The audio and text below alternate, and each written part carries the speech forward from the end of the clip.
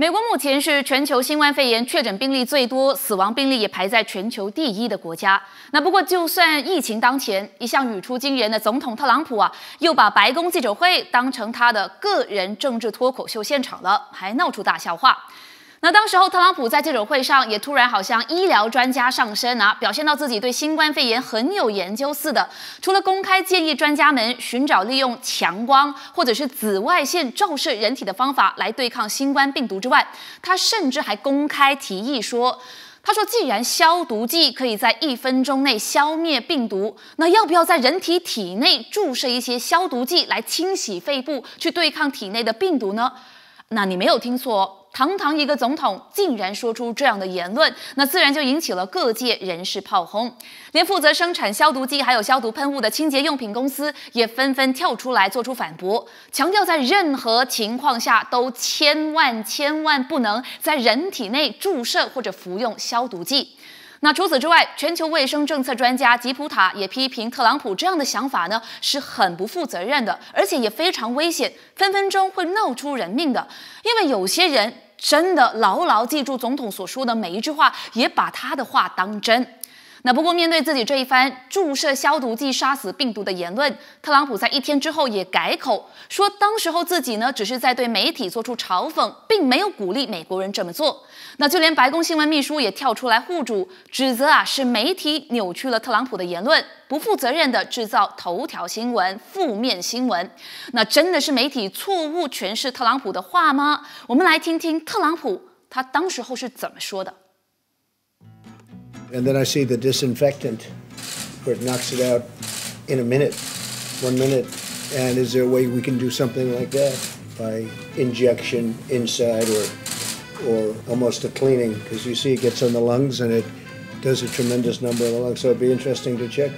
特朗普对于自己提出往人体注射消毒剂对抗病毒的言论，似乎沾沾自喜，非常感兴趣。虽然此话一出引起各界炮轰， 不过特朗普昨天在白宫圆桌办公室回答记者提问时，却突然改口说自己只是开个玩笑，当时只想对媒体冷嘲热讽一番。I was asking a question sarcastically to reporters like you just to see what would happen,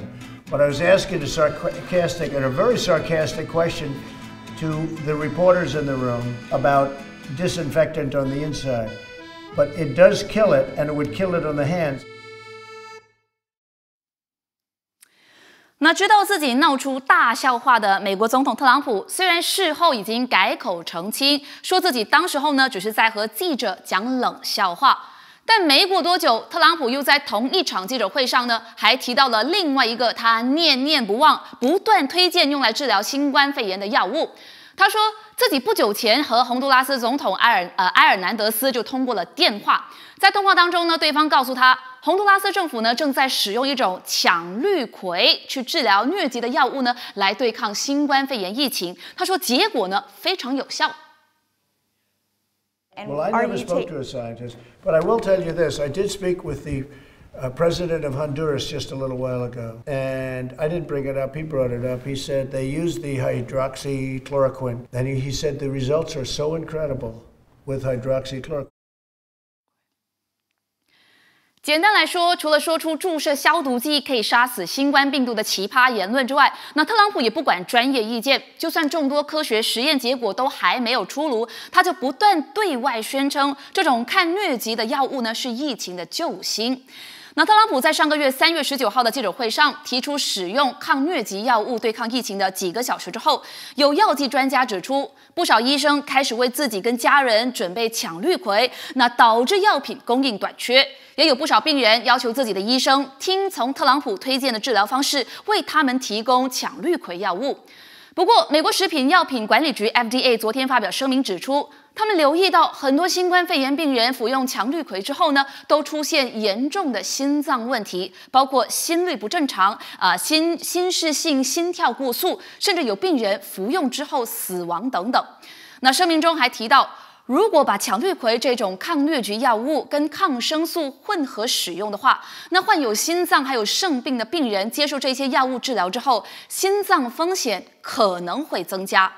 没有科学论据的过度吹捧一项药物呢，恐怕会引来更大的灾难。